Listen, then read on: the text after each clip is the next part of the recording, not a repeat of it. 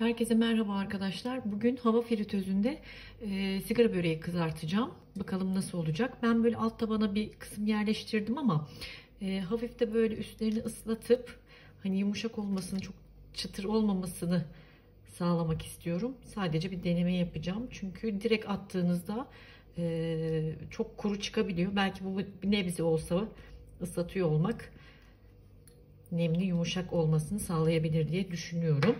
E, normalde sıfır yağsız biliyorsunuz ama şöyle e, çok az şöyle de bir yağ gezdirip e, direkt miye hava fritözüne koyup bakacağız. Ben şöyle bir kat daha üstüne sigara böreği yerleştirdim. İki kat yapacağım yani.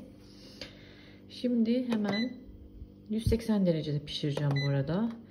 15 dakikanın da yeterli olabileceğini düşünüyorum. Arada sallaması için bir e, birkaç dakika sonra ötecek sallaması için. Orada da bir bakalım nasıl pişmiş olacak. Tekrar size nasıl olduğu ile ilgili bilgi vereyim. Evet, ilk yarısı bitti. Bakalım. Şu an bu şekildeler. Bence güzel gözüküyorlar. Tabii ki de tam pişmediler. Daha vakti var. Şimdi ben bunları çevireceğim. İkinci etap için tekrar göndereceğim. Evet börekleri çevirdim. Tekrardan makineye yerleştirdim. 7 dakikası daha var. Bakalım 15 dakika sonunda nasıl olacak. Evet 15 dakika tamamlandı.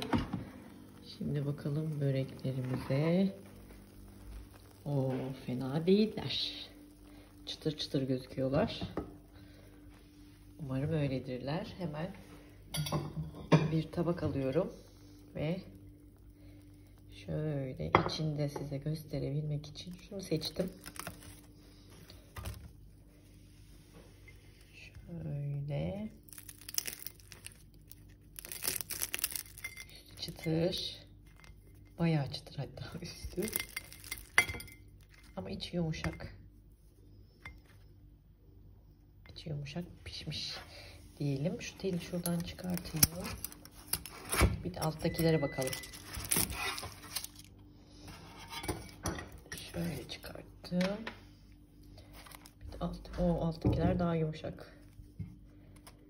Daha yumuşaklar. Ve daha yiye, yenebilir şekildeler.